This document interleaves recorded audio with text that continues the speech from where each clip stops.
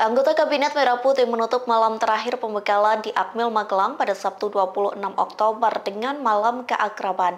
Dalam momen tersebut, para anggota Kabinet dan Taruna Akmil berjoget hingga bernyanyi bersama, termasuk Sekretaris Kabinet Mayor Teddy yang berjoget hingga bernyanyi. Momen itu diunggah oleh akun TikTok @keisha pada Minggu 27 Oktober. Dalam unggahan itu terlihat sejumlah menteri dan Taruna Akmil berkumpul.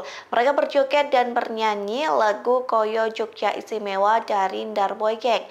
Namun menjadi sorotan lantaran Mayor Teddy memimpin karaoke tersebut. Sementara biasanya Mayor Teddy selalu terlihat garang saat mendampingi Prabowo Subianto. Kini Mayor Teddy dengan lincah berjoget dan membaur dengan anggota kabinet. Padahal sekretaris kabinet itu masih menggunakan seragam berwarna putih namun tidak membatasi geraknya untuk berjoget. Dikutip dari kompas.com, malam keakraban itu terjadi di Aula Sudirman kawasan Akmil. Hal itu disampaikan oleh Wakil Menteri Transmigrasi Viva Yoga Mauladi. Ia juga mengatakan malam keakraban dilakukan untuk mempererat hubungan antar anggota kabinet.